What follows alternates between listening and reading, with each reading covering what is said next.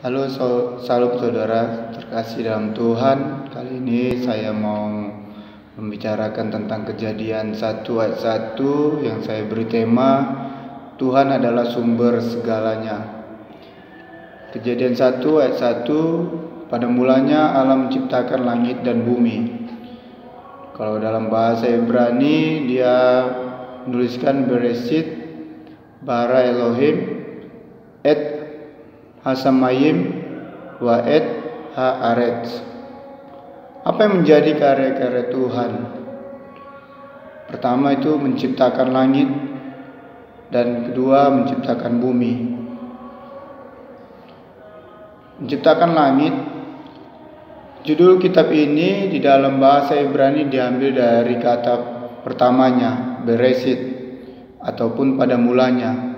Nama kejadian merupakan terjemahan judul Ibrani itu ke bahasa Yunani dan berarti asal mula, sumber, penciptaan atau awal dari sesuatu. Kejadian merupakan kitab permulaan.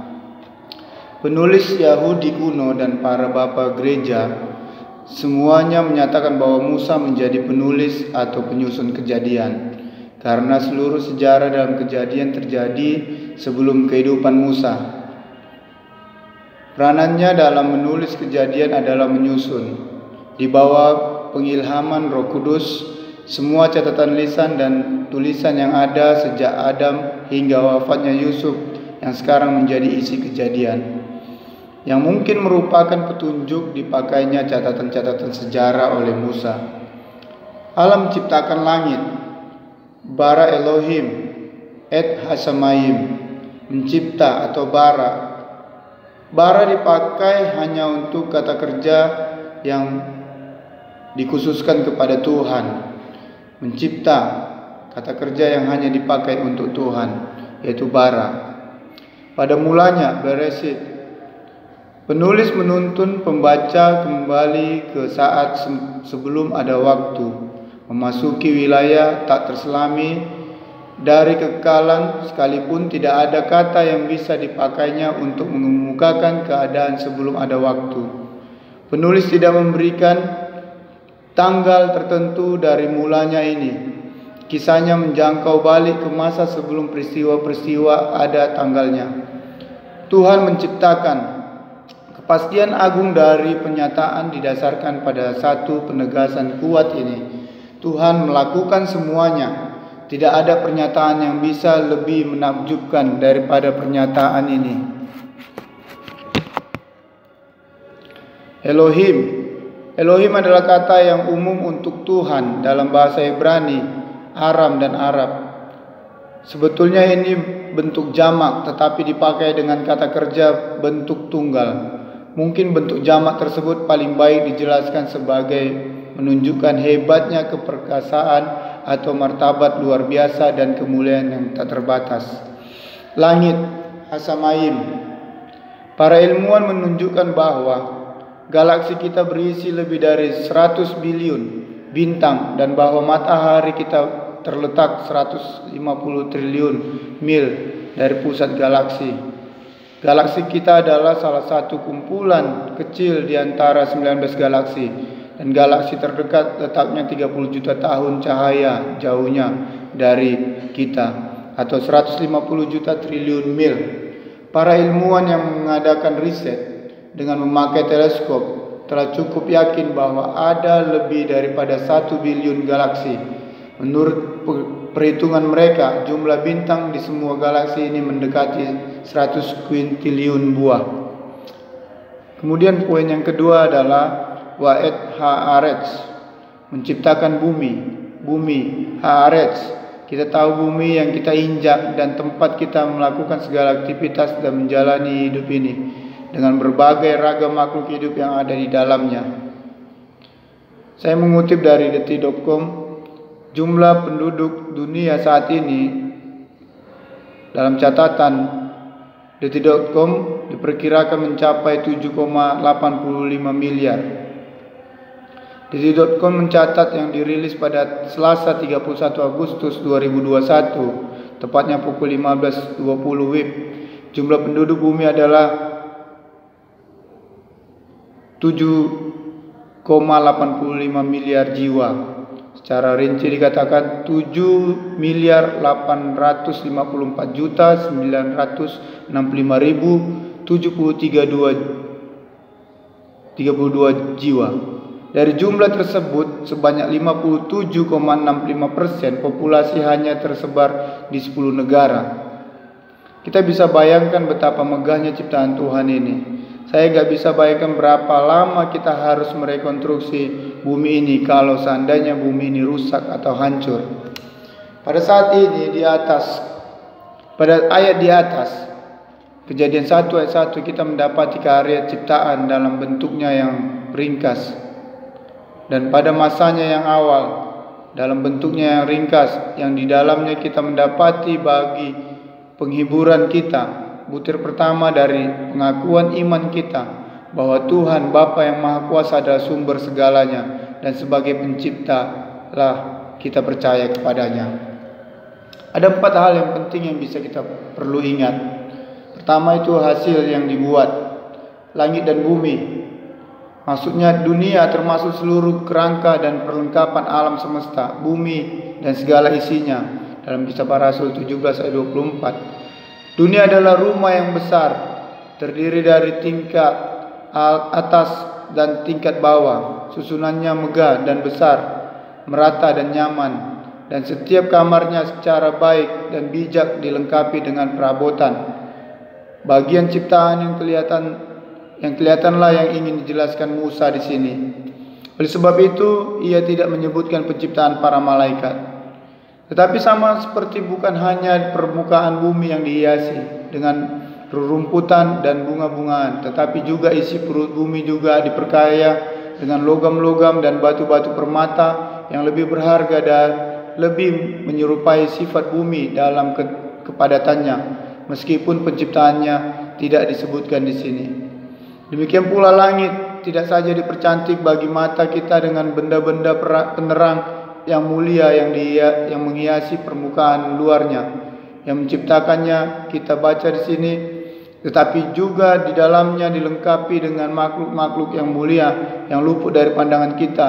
Makhluk-makhluk tersebut lebih bersifat surgawi dan jauh melampaui benda-benda penerang dalam nilai dan keunggulan lebih emas ataupun batu nilam yang melampaui bunga-bunga bakung di ladang.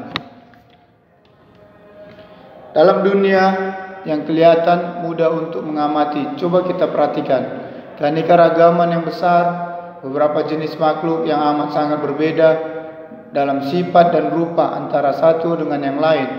Betapa banyak perbuatanmu ya Tuhan dan betapa baik semuanya. Keindahan yang agung, langit yang biru dan bumi yang hijau memesonakan mata orang yang mengamatinya dengan rasa ingin tahu, apalagi perhiasan-perhiasan yang melekat padanya. Jadi betapa keindahan penciptaannya jauh melampaui segala yang ada di dunia. Kepastian dan ketepatan yang luar biasa bagi orang yang dengan bantuan mikroskop mengamati dari dekat pekerjaan-pekerjaan alam maka semua itu tampak lebih halus daripada karya-karya seni apa saja. Kuasa yang besar yang ada pada setiap makhluk bukanlah segumpal materi yang mati dan tidak bergerak, melainkan ada kekuatan sedikit banyak di dalam masing-masing dari mereka. Bumi sendiri pun mempunyai kekuatan magnet, keteraturan yang amat rapi, kesaling ketergantungan dalam hubungan antar makhluk, keselarasan yang tepat pada gerakan-gerakan dan keterkaitan serta hubungan sebab akibat yang mengagumkan. Misteri besar yang di dalam alam ada penampakan-penampakan yang tidak bisa diketahui dan rahasia-rahasia yang tidak bisa dipahami atau dijelaskan. Tetapi dari dari apa yang kita lihat pada langit dan bumi, kita dapat dengan mudah mengenali kekuasaan yang kekal dan ilahi dari Sang Pencipta yang agung dan dapat melengkapi diri kita dengan pokok-pokok pujian yang berlimpah untuknya dan biarlah penciptaan serta tempat kita sebagai manusia mengingatkan kita akan kewajiban kita sebagai orang-orang Kristen yaitu untuk selalu menempatkan surga dalam pandangan mata kita di bawah pandangan mata kita dan bumi di bawah kaki kita. Penciptaan dan penyebab dari pekerjaan yang besar dan agung ini yaitu Tuhan. Bahasa Ibrani Ibrani adalah Elohim yang menunjukkan kuasa Tuhan sang pencipta. El berarti Tuhan yang kuat dan adakah kekuatan yang kurang dari dari Maha Kuasa yang bisa mengadakan segala sesuatu dari ketiadaan? Kejamakan dari pribadi pribadi dalam ketuhanan, Bapa, Anak dan Roh Kudus. Nama Tuhan yang jamak ini dalam bahasa Ibrani yang berbicara tentang Dia sebagai banyak meskipun satu. Mungkin bagi orang-orang bukan Yahudi menjadi bau kematian yang mematikan, yang membuat mereka berkeras dalam penyembahan berhala mereka. Tetapi bagi kita itu adalah bau kehidupan yang menghidupkan, yang meneguhkan iman kita pada ajaran Trinitas yang meskipun hanya tersirat secara gelap dalam perjanjian lama dengan jelas disingkapkan dalam perjanjian baru anak Tuhan sang firman hikmat kekal dari Bapa dan bersama-sama dengan Bapa ketika Bapa menciptakan dunia dalam Amsal 8 ayat 30 bahkan kita sering kali diberitahu bahwa dunia diciptakan olehnya dan tiada sesuatu suatu pun yang dijadikan tampanya Yohanes 3 ayat 1 ayat 10, Efesus 3 ayat 9, Kolose 1 ayat 16, Ibrani 1 ayat 2. Oleh betapa hal ini seharusnya membangkitkan pikiran-pikiran yang luhur dalam benak kita akan Tuhan yang besar itu dan kepadanya kita dapat mendekat di dalam ibadah-ibadah dan akan sang pengantara yang agung itu yang di dalamnya kita datang mendekat Cara pekerjaan ini yang terlaksana Tuhan yang menciptakannya yaitu mengadakannya dari ketiadaan. Tidak ada materi apa pun yang sudah ada sebelumnya dan darinya dunia dihasilkan. Ikan dan burung memang dihasilkan dari air dan hewan serta manusia dari tanah, tetapi tanah dan air itu diadakan dari ketiadaan. Dengan kekuatan alam biasa, mustahil apa saja diadakan dari ketiadaan. Tidak ada pekerjaan yang bisa bekerja jika ia tidak mempunyai sesuatu untuk dikerjakan. Tetapi dengan kekuatan maha kuasa dari Tuhan, bukan saja mungkin bahwa sesuatu diadakan dari ketiadaan. Tuhan alam semesta tidak tunduk pada hukum-hukum alam. Tetapi juga bahwa dalam penciptaan mustahil jika tidak demikian adanya. Sebab tidak ada yang lebih menghina kehormatan sang hikmat kekal selain anggapan bahwa materi itu kekal. Demikianlah keunggulan dari kekuasaan itu berasal dari Tuhan dan segala kemuliaan hanyalah untuknya. Kapan pekerjaan ini dilaksanakan? Terlaksana pada mulanya. Maksudnya pada permulaan waktu ketika jarum jam pertama-tama diputar, waktu dimulai dengan dihasilkannya makhluk-makhluk yang diukur oleh waktu. Sebelum permulaan waktu, tidak ada yang lain selain Sang Ada wujud tak terbatas itu yang mendiami kekekalan.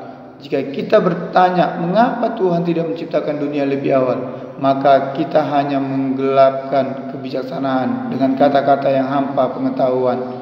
Sebab bagaimana mungkin ada yang lebih dahulu dan yang lebih kemudian di dalam kekekalan. Dan ia sungguh-sungguh menciptakannya pada permulaan waktu sesuai dengan kebijaksanaan kebijaksanaan kekalnya sebelum segala waktu ada pepatah di kalangan rabi-rabi Yahudi bahwa ada tujuh hal yang diciptakan Tuhan sebelum dunia ada. Dengannya mereka hanya bermaksud mengungkapkan keunggulan dari hal-hal ini. Hukum, pertobatan, firdaus, dunia orang mati, tahta kemuliaan, baik suci dan maha Mesias dan nama Mesias tapi cukuplah bagi kita untuk berkata pada mulanya firman dalam Yohanes 1 ayat 1. Dan terakhir yang keempat, apa yang bisa kita simpulkan dari hal ini? Bahwa ateisme paham yang mengatakan bahwa Tuhan tidak ada adalah kebodohan dan orang-orang yang tidak percaya pada Tuhan adalah orang yang paling bodoh di alam ini. Sebab mereka sudah melihat dunia yang tidak bisa menciptakan dirinya sendiri. Namun masih juga tidak mau mengakui bahwa ada Tuhan yang menciptakannya.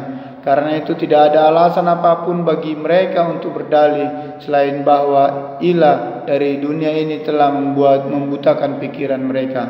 bahwa Tuhan kedua adalah bahwa Tuhan yang berdaulat atas segala sesuatu dengan hak yang tak dapat diganggu gugat. Jika dia pencipta maka tidak diragukan lagi bahwa dia juga penguasa serta pemilik surga dan bumi. Kemudian bahwa bagi Tuhan segala sesuatu itu mungkin dan oleh sebab itu berbahagialah orang yang memilikinya sebagai Tuhan mereka dan pertolong yang pertolongannya serta pengharapan mereka ada dalam namanya. Mazmur 121 ayat 2, Mazmur 122 ayat 8. Terakhir bahwa Tuhan yang kita layani layak menerima dan juga jauh lebih tinggi mengatasi segala puji puji dan hormat. Nehemia 9 ayat 5 sampai 6. Jika ia menciptakan dunia maka ia tidak memerlukan pelayanan-pelayanan kita. Tidak pula ia bisa diuntungkan olehnya. Kisah para setuju ayat 24 sampai 25. Namun sudah sewajarnya ia menuntutnya dan layak menerima puji-pujian dari kita. Wahyu 4 ayat 11. Jika segalanya berasal dari itu, dari dia, maka segalanya haruslah untuk dia. Demikianlah untuk saat ini saya bisa sampaikan. Kira-kiranya Tuhan dan Roh Kudus yang lebih lagi menyatakan lebih luas dan lebih tepat lagi. Terima kasih. Tuhan Yesus memberkati. Salam.